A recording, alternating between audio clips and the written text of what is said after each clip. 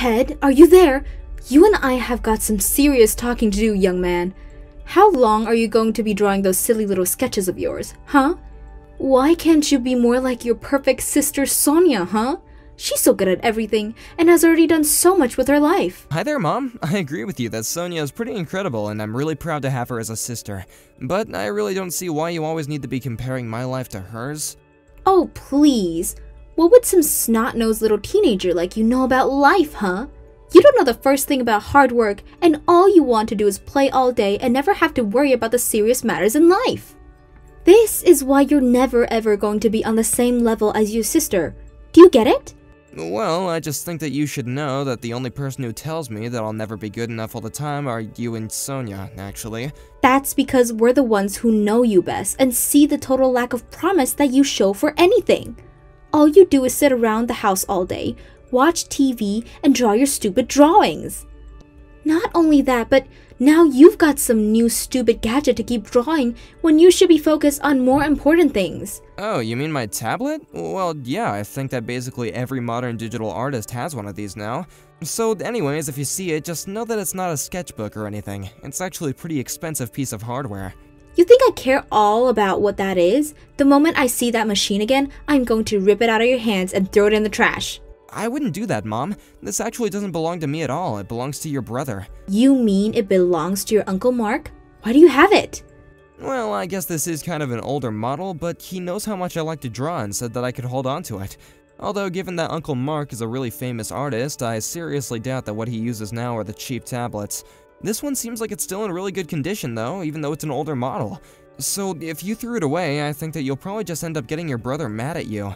He might even make you pay to replace it if you do anything to damage it. And just why in the world is your uncle lending you something so expensive then, huh? Well, because like I said, he knows that I want to be an artist too. So I think that he wanted to let me learn what it's like to draw on this thing. And I don't think it would be very polite of me to return it to him since he brought it all the way here for me the last time that he visited. Well, just what do you think you're going to do if you break it while you use it? Huh? Well, Uncle Mark told me that he doesn't care if I'm the one who breaks it as long as I'm very, very careful with it. Ugh, I just can't even with you. You seriously drive me crazy. Do you know that? Hey, Uncle Mark, are you there? I just wanted to let you know that I did just as you said, and it actually worked. I told my mom that this tablet was basically brand new and really expensive, and that you would be mad if anything happened to it, and she agreed not to touch it. Oh, really? You mean she gave it up that easily? Well, if that's all it took, we should have thought of that a long time ago. But I still do really think this is a nice tablet. Are you sure that you want me to have it?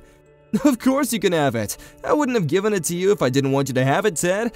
I mean, it is true that it's a slightly older model, and I already have a newer one for me to work on anyway, so I have no problem with you holding on to that one anyway. Just don't break it. Thank you so much, Uncle Mark. I just, well, what's the matter? Aren't you happy with your new tablet and that your mom isn't gonna touch it? I just, why are you doing this for me? I don't understand it.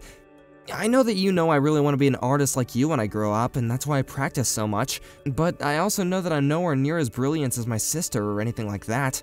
I guess I just, I, I don't think I'm worthy of you giving me things like this, or encouraging me the way you do. I'm just not worth it. Are all those things that your mom has said to you, Ted? Yeah, whenever I do anything or show her one of my drawings, she always compares it to something that Sonia has done. I can never stand on my own. I always have to live in the shadow of my own sister. I really wonder about what her deal could be. I mean, that is no way for a parent to be talking about her kid at all. I've tried going up to her as her brother, as your uncle, and telling her to ease up with the way she treats you, but she just never ever listens to me. But why not? Why does she treat me like this? Can't she see that I'm trying my best? Ted, do you think your mother acting like this has gotten worse ever since your parents got their divorce? I just wonder if she's clinging on to how smart and brilliant Sonia is because she can see her in your dad. And that's why she's favoring your sister. So then, you think that Sonia's super smart too? I do think she's very smart, but I don't think that's the only thing of value that someone can bring to the table. You mean that being smart isn't the most important thing that someone can be? I mean, I'm no philosopher or anything, so I don't know how to make this sound pretty, but I think that we all have something inside of ourselves that's different that we can contribute. You think that it's okay for everyone to be a little different? But mom is always telling me to be more like Sonia. I know, but that's your mom's problem. But what I'm trying to say is that you need to realize that you have value inside yourself. You shouldn't derive your self worth from what other people have to say about you, because you'll never be able to be yourself if you do. But the one thing that you can never do, Ted, is to believe that you're worthless, okay? I have to believe that I'm not worthless? That's right, you do have worth, and as you grow up, paths are gonna open up for you, and you're gonna be able to show the world what you've been keeping inside of you. You really think that one day someone's gonna like my drawings, Uncle Mark? I know that one day people are gonna hold up your art and say that that is the work of a brilliant artist.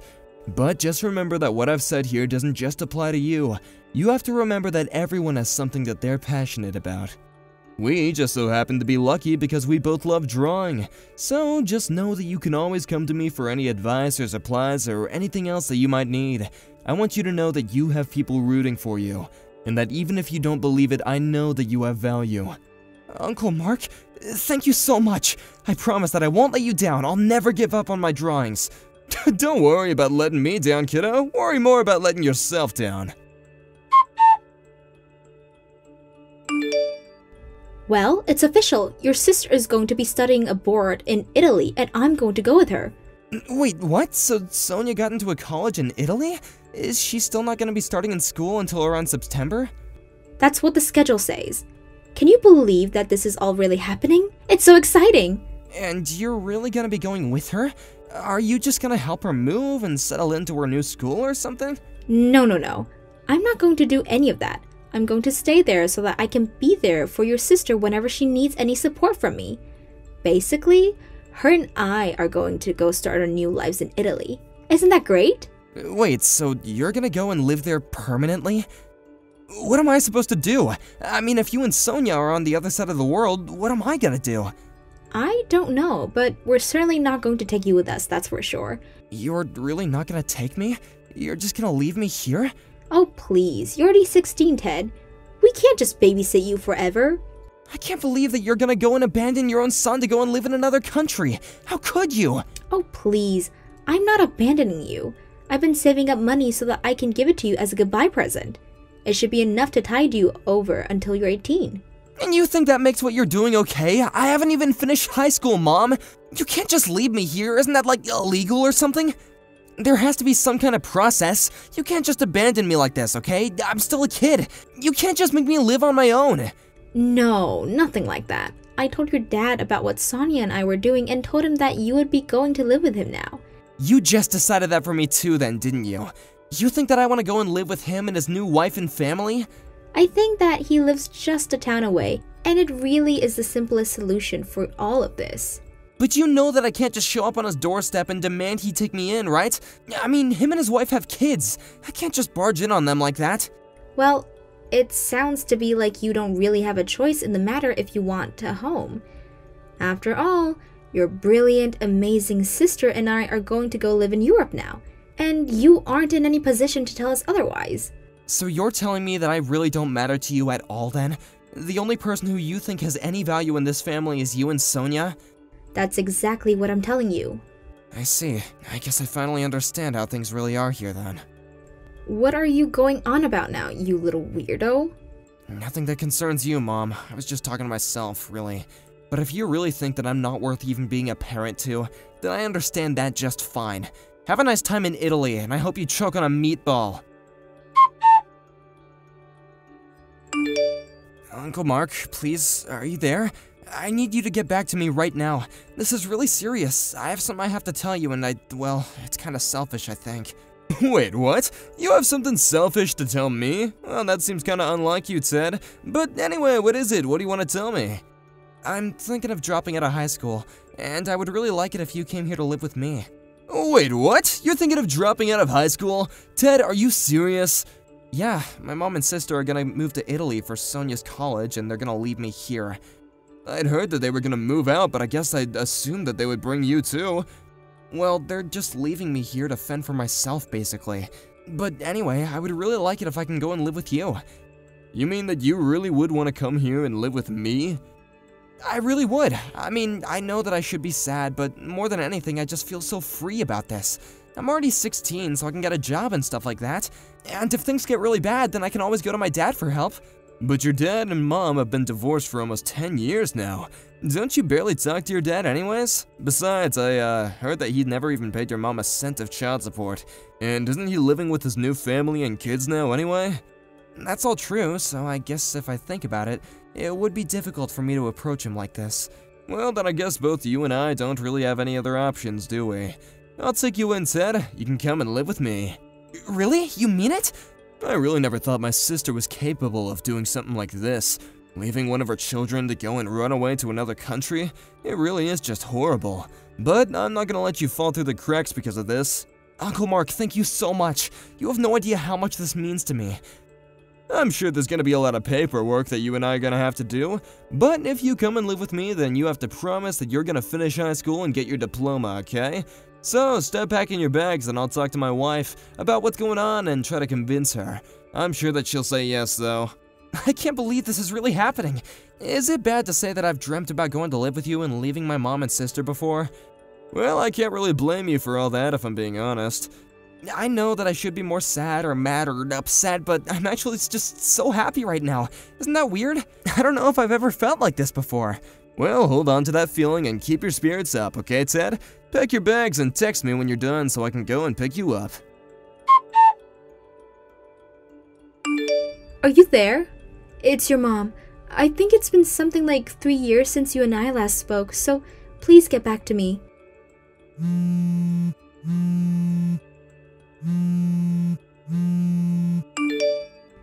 I heard from a friend that you graduated high school and you've already found a job as an artist. Is that true?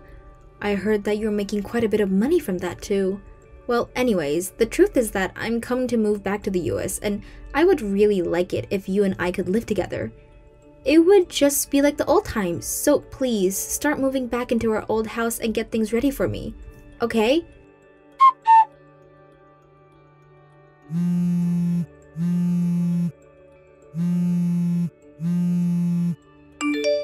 Ted, are you there? What are you doing? Where are you? I thought I told you that I wanted our old house ready for me to move back into. Why are there all these strangers living here? Huh? Just where are you right now? Answer me. Well, well, well, it's been quite some time since I heard from you. And just what kind of way is that to talk to your mother, huh? Who do you think you are? My mother? Sorry, but my mom and dad are at home. You're nothing to me. Nothing to you? How can you say that? I'm your mother and you will treat me with respect. Now tell me where you're living right now. I've already told you I'm living with my mom and dad. I see. So basically, you're living with my brother and his wife. Is that what you're trying to tell me? I guess that's another way to put it, yeah. Well, then this makes things that much more simple. I'm going to be moving in with you in his house then. Then I'm going to go to the courts, make them give you back to me, and then you and I are going to live together while you pay for everything with your job. I'm afraid that isn't going to be happening. I'm 18 and you have no say over my life anymore. But how can you be so young and already make so much money? It doesn't make sense. Well, I've actually been making money off my art since I was still in high school. My new dad and I started uploading videos about how to draw and different techniques, and we became a big hit. And since then, people have been reaching out wanting more videos or even to buy our art. But, I mean, I've heard that you've been featured in galleries and expos. You're always going around to all these different events and meeting all these amazing people. I decided to come back because it sounded to me like you were finally in a good spot to take care of me. Actually, I'm not doing any of those things at all. I'm just helping my dad with them. Wait a second. Are you telling me that your Uncle Mark is the one being invited to all these galleries and expos? Even the signings and fancy galas, too? That's right. My dad is quite the famous artist now, didn't you know that? I had no idea at all. When did all this happen? Well, he's already published three art books, and he even has his own gallery now. He's even been featured in a new novel as the illustrator. He really is blowing up. I had no idea about any of that. Yes, I can tell that you had no idea since you thought I was the only one doing all this. Although, maybe you're just confused because my dad and I started working together on YouTube. But now I'm handling all of that. How did it all come to this?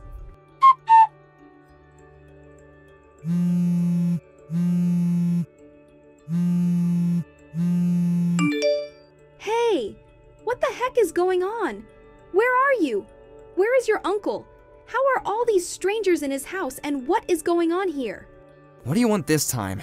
I want to know where you all are. You told me you were living with my brother and now I'm at his house and none of you are here. Wait a second, are you at his old house? Old house? What do you mean? I'm at the house that he's always lived at. What I want to know is where you all are. Oh, well, we all moved from there a while ago now, actually. Wait, you all moved? Are you serious? Did you really do that? Yeah, I think it was not long ago after I graduated high school, actually. Well, tell me where you're all living right now. Yeah, that is not going to be happening. Why don't you just go back to Italy and live with my perfect sister, huh? I can't stand that girl anymore. Ever since she started school, her grades have been slipping, and she even got knocked up by some guy and had a kid. She just doesn't know how to be responsible anymore, and that why I came back here to live with you. I see, so that's the real reason why you came running back to me. Well, unfortunately for you, I don't feel like telling you at all where we live. You ran away and abandoned me, and I have no reason to help you. You're on your own. Hey, Clara, you need to leave my son alone. Do you understand me? Mark? Is that really you? Just who do you mean when you say your son? You don't have any kids at all, and we both know it. Are you talking about Ted? Because you know damn well that he is my son, and you can't keep him. Actually, Ted is an adult now, and he can make that decision for himself. It's not your place, mother or not, to order him around anymore. And just what is this supposed to mean? How dare you talk to his real mother like that? You don't get to tell me what I can't do and can do with my own child. Well, your own child said he's gonna block you on everything so that you can never talk to him again. How does that make you feel? He's going to block me? Are you kidding me? He can't do this. I'm his mother. He needs to learn some respect. Actually, we were just waiting for the day when you might come back. He had already deleted your contact information when you left, but he realized it meant that he wasn't able to block you. So now that you've reached out to him, he was finally able to put the last nail in the coffin and keep you away from him. How could you do this to me? You turned my own son against me. You're terrible. Do you realize that? No, Clara, you have done that to yourself. Ted is my son, and there's nothing you can say that's gonna change the truth in our hearts. Your hearts? What kind of artsy fartsy hippie crap is that? He is my son, and that is final. Well, if he is your son, then you've been doing a terrible job of being a mother, considering the fact that he doesn't even want to talk to you anymore. But I just. I thought if I pushed to be like his sister, that he could be something great. That's just it, Clara. He was already someone great and you just couldn't see it. Maybe it was because you were so taken with your daughter. But you couldn't see the potential inside your son, and that's why he isn't yours anymore. I mean, the one thing a mother should do is try and bring out the best in their child and let them explore their interests in a productive way. But instead, you were always putting him down, making fun of his drawings, and making him feel like his own life didn't have any worth at all. It doesn't matter what you say. I'm still his mother. Nothing is ever going to change that. Just give it up already, Clara. Don't you think you've already done enough to the poor boy? Why are you treating him like he's an object?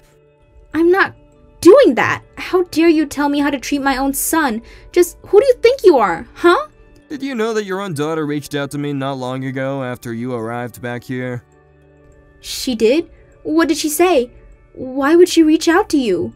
Well, she told me about how when she wanted to go to Italy, it was to get as far away from you as possible. But you insisted on going with her anyway. What are you talking about? I went there to go and support her. She's my brilliant daughter, and I would do anything for her. Well, she explained to me how she cracked under the constant pressure that you were putting on her, and that's why she dropped out of her school. She told me about how she's married and has a kid now, and that she's very happy with her life and regrets the way she treated her brother when she was younger. How dare she stab me in the back like that? Doesn't she understand how much I sacrificed to go and be there with her? So what? You're telling me that I'm just alone, that everyone thinks I'm the bad guy just because I was trying to do what's best for my children? How is that fair? She even told me to tell Ted that she's so sorry for everything, and that if he can ever forgive her, that he's welcome to go and see her. If you still think that's what's going on here, then I think this conversation is over. Have a nice life and just leave us out of it, okay? Before moving to Italy, my mom actually worked from home with an online job. She figured that she would be able to move because she could work as long as she had a computer. But apparently the time difference was too much for her company, and after she moved, she quickly lost her job. She thought that she could get it back when she moved back here, but her company wasn't hiring. Realizing that she had no one willing to help her, she spent her savings to put money down on a small apartment and she's back to working in person. I ended up blocking her on everything and I have no idea what she's up to now. As for my new family and I, we're living in a nice cottage with a scenic view that provides plenty of inspiration for the art my dad and I make. Thanks for watching! If you like this video, please give it a thumbs up and don't forget to subscribe to see more content like this.